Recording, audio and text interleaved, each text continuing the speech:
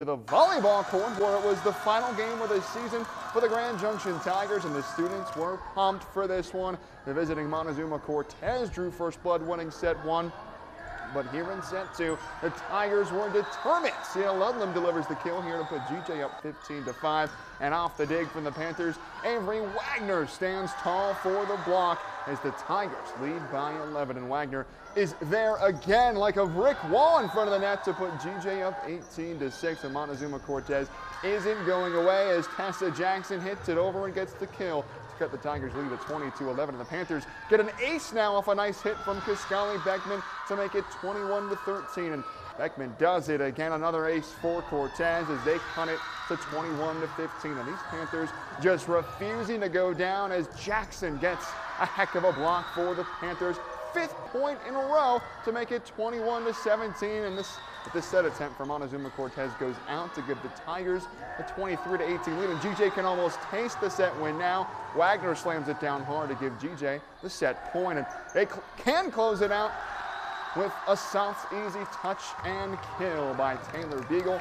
And the GJ faithful loves it as the Tigers even this one up.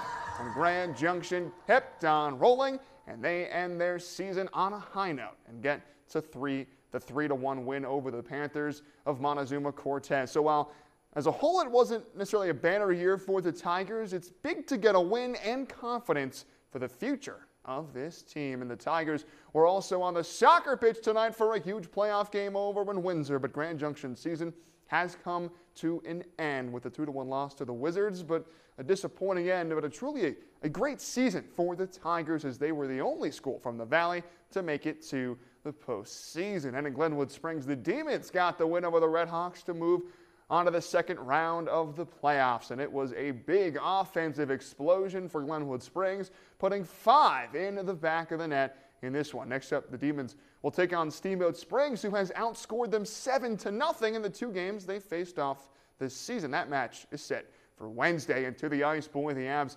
finally look human as they suffer their first loss of the year on the road in Pittsburgh. And simply, this was just not Colorado's night as they are shut out four to nothing. The good news is that at six and one, the Avs still sit atop the Central Division. Colorado will look to extend their lead in the standings Sunday when they're in Buffalo to take on the Sabres. And speaking of Buffalo, the Bills got back in the win column with the big win over the Bucs on Thursday night football. Buffalo now moves to 5 and 3 as they look to keep pace with Miami in the AFC East. What a marvelous night of sports on the Western Slope and across the country. But that's all my time for sports.